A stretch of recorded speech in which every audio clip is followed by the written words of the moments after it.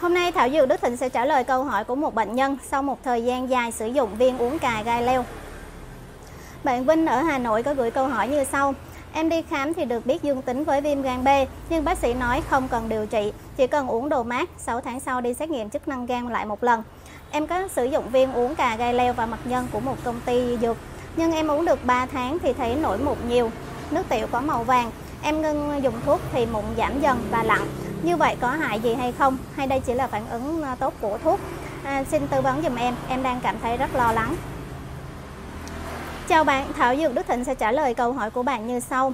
Là một cây thuốc đặc biệt tốt cho gan, được nhiều bệnh nhân tin dùng. Hiện nay đã có rất là nhiều chế phẩm, thực phẩm chức năng được chế biến từ cây cà gai leo nhằm đáp ứng nhu cầu của người bệnh như là viên uống cà gai leo, trà túi lọc cà gai leo và cao cà gai leo.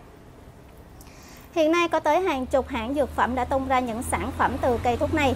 Chúng tôi thấy 100% các chế phẩm từ cà gai leo đều chỉ là thực phẩm chức năng, chưa có loại nào được chứng nhận là thuốc.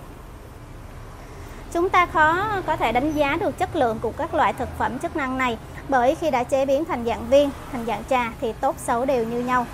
Chính vì vậy mà nhiều bạn đã gửi câu hỏi đến cho chúng tôi rằng là uống viên cà gai leo hay là trà cà gai leo ờ, trong thời gian dài nhưng không có hiệu quả, thậm chí có khi bệnh còn nặng hơn.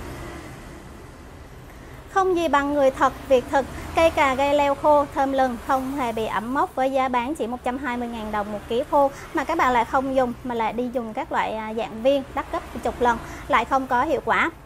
Dùng cây khô thì bạn có thể kiểm chứng được chất lượng. Nếu chất lượng kém thì chỉ cần nhìn à, hoặc là ngửi mùi là biết được ngay.